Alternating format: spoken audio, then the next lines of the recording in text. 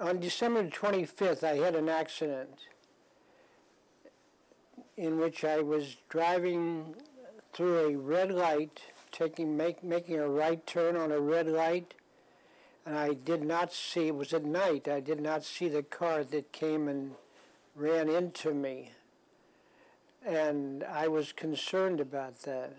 I'm assuming that the test will prove that I am capable of driving a car. This is a clinical test of a person's ability um, to drive. This is a clinical assessment of vision, reflexes, strength, range of motion. There's an H, it's an H or an N. The bottom line, there's no, there's nothing there. Oh, but there is. Yeah, I don't see it, I don't see it. We're going to switch to a different chart and a different eye. Oh, thank goodness. Okay? This is very important because we have folks in the community that are aging or who may have had an illness or disability, and they're not as fit, they're not as uh, strong as they used to be. Perhaps their um, memory is declining, and it's very important that they be able to continue driving and be safe on the road. It's critical to everybody's safety, not just their own. We're going to go ahead and drive on all roads. If you make an error, I will correct you.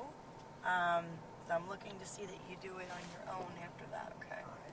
It's not an easy subject at all to broach with folks, but a lot of times a family member will express some concern about a mom or a dad or a relative or a friend and will call us to get the initial information.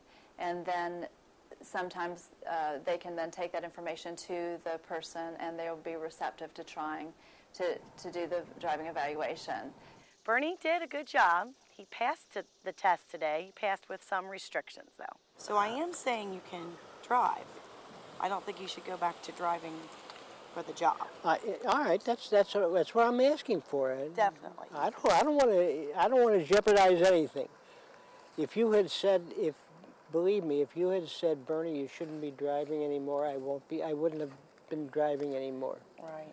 That was my, that's the way I feel. I, what the hell? I don't want to kill anybody. This is a really important service that we're providing to the community. There are a lot of folks driving who are no longer safe behind the wheel, and obviously that impacts everybody that's on the road.